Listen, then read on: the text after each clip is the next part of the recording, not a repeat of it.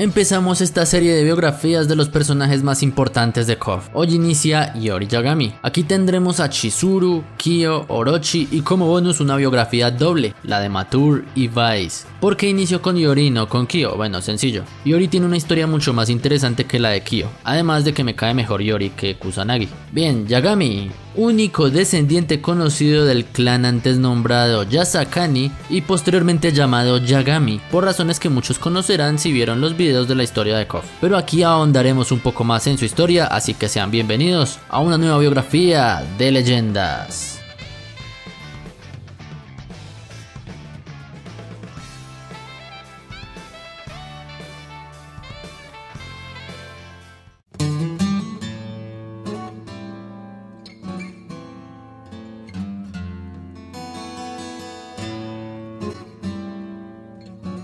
Antes de empezar con la historia de Yori propiamente, debo irme atrás en el tiempo y contar la historia del clan Yasakani y su disputa con Kusanagi. En la antigüedad, más exactamente 1800 años antes, existía una deidad llamada Yamata no Orochi, que ya explicaremos bien en su video qué quiere y todo eso. Bien, esta deidad fue derrotada por los tres clanes conocidos como los Tesoros Sagrados, compuestos por Kagura, guardianes del espejo Yata, Kusanagi, dueños de la espada Kusanagi, y Yasakani, portadores de la Yasakani no Magatama. Estos clanes sellaron al dios para que no causara más destrozos, pero la deidad tenía seguidores y estos causarían problemas en lo que su dios podía regresar. Pasarían 1140 años de aquella batalla y los clanes Yasakani y Kusanagi eran amigos, entrenaban juntos, perfeccionaban técnicas, y demás cosas. Para este momento los seguidores de Orochi ya estaban preparando su regreso pero necesitaban varias cosas, entre ellas los tesoros sagrados, pero como todos eran muy buenos amigos deciden formar un plan, el cual inicia en enemistar a Yasakani con Kusanagi, y para ello usarían a uno de los descendientes de Orochi para matar a la esposa de Yasakani, y luego dejar el cadáver en los predios del clan Kusanagi. Al enterarse de esto Yasakani jura venganza contra el clan que pensaba que era su amigo,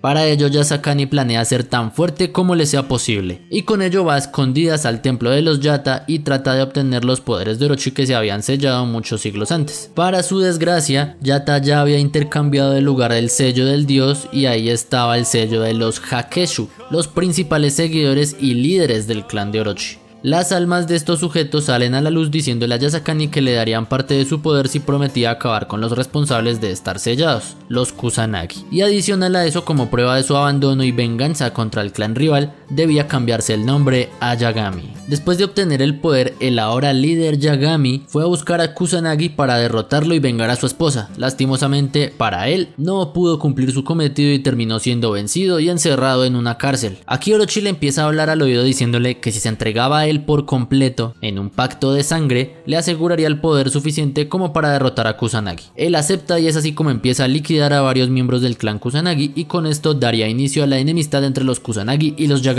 que se mantiene hasta la época de Yori. Y aquí empieza la historia actual. Yori crece sabiendo la parte de la historia que le contaron, obviamente siendo mentira, pero a él poco le importaba. A pesar de que el destino de los Yagami está trazado y que lo único para lo que puede vivir es para matar a Kusanagi, a él le importa muy poco esto. Él no odiaba a los Kusanagi, odia expresamente a Kyo, para él no hay nadie digno, no existe ser aparte de él que merezca el placer de acabar con la vida de Kyo Kusanagi. Luego del torneo que organiza Rugal en el cual participa KOF 94 y sale vencedor, Giz Howard quiere ver qué hay detrás de todo esto, por lo cual le dice a Billy Kane, Eiji Kisaragi y Yori Yagami que entren al torneo del siguiente año. Esto era básicamente porque Giz sabía sobre el poder de Orochi y se enteró que Rugal ya lo tenía y al ver las terribles habilidades de Yori lo incluyó al grupo. Y esto era más que nada para mostrarle a Rugal que solo él era digno de poseer el poder del dios. El torneo pasaría así sin más y llegaría a la final donde Kyo vence en la final a Yori coronándose campeón del nuevo KOF y a la postre dejando a Yori con una gran frustración porque había perdido contra Kyo. Luego pasa lo que les conté en la biografía de Rugal y la historia de KOF 95. Rugal pierde el control del poder de Orochi, explota y Yori a la distancia se burlaría de él porque fue un estúpido al querer controlar un poder tan grande sin ser descendiente de la sangre del dios. Y también hiere gravemente a Billy y a Eiji ya que no le serán más de utilidad. Para el torneo de la 96, dos miembros de los Hakeshu, Matur y Vice, atacarían a Yori por sorpresa para probar sus habilidades. Al ver la gran fuerza de Yagami, las ex secretarias de Rugal le piden que formen equipo para el KOF 96. Él acepta más que nada para ver qué se proponían las dos.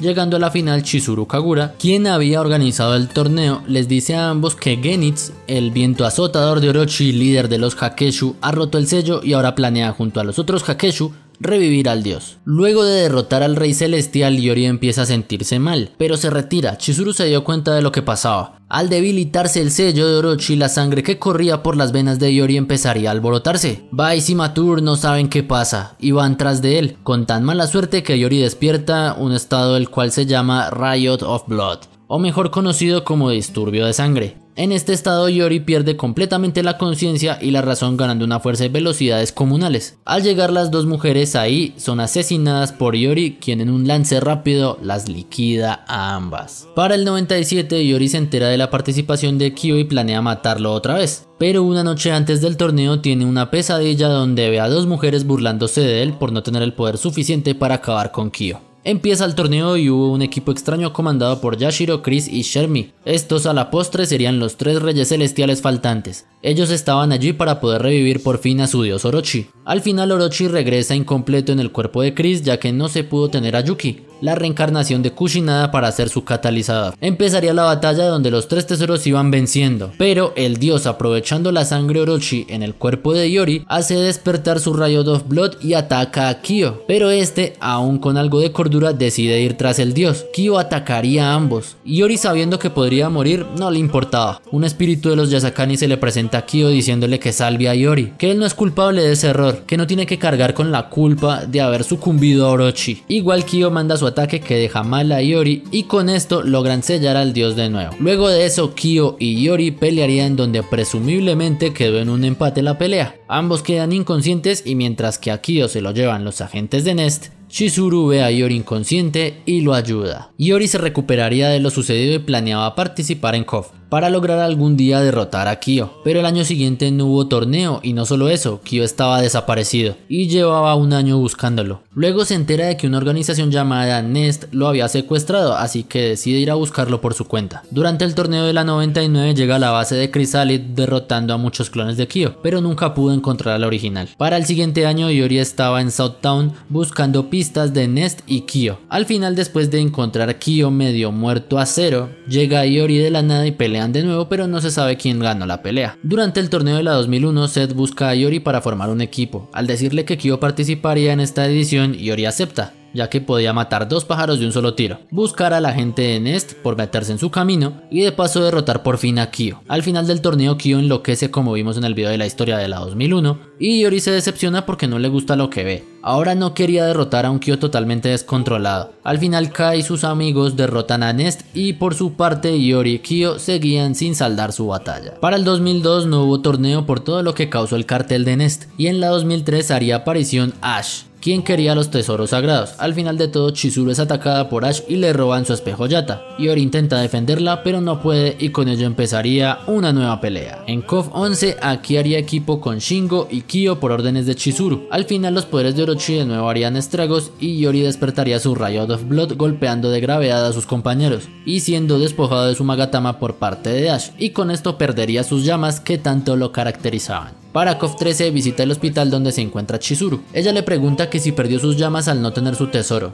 Claramente ya no podía usarlas. Después de eso ella le dice que ahora que no tiene sus llamas y la Magatama, podría corregir el destino de los Yagami y liberarse de la maldición de Orochi. A Yori le importa muy poco esto, no le interesa nada de aquello. Lo único que le dice a Chizuru es que traerá el espejo a su dueña a su debido tiempo y que regresará a toda la normalidad, aún sin sus llamas. Luego de esto se va del hospital. Matur y Vice que de nuevo estaban con él forman equipo con Yori, aunque no se sabe muy bien por qué estaban allí, si él las había matado en la 96. Aunque Matur lleva un parche como dando a entender que no murieron en aquel entonces. Al final pasó lo que ya sabemos y es que Ash termina siendo el héroe haciendo desaparecer a Saiki, devolviéndole el tesoro a Yori, que junto a sus compañeras de equipo lo recogen. Ellas le dicen que si quiere puede rechazarlo y así liberarse de la maldición de Orochi. Yori pregunta sobre qué pasaría si hace eso. Ellas no dicen nada y lo dejan decidir. Iori toma de nuevo su Magatama y planea de nuevo pelear con Kyo, pero al final no se sabe quién ganó en aquel enfrentamiento. Para KOF 14, de nuevo las secretarias de Rugal hacen equipo con él, pero esta vez ellas parecen algo diferentes.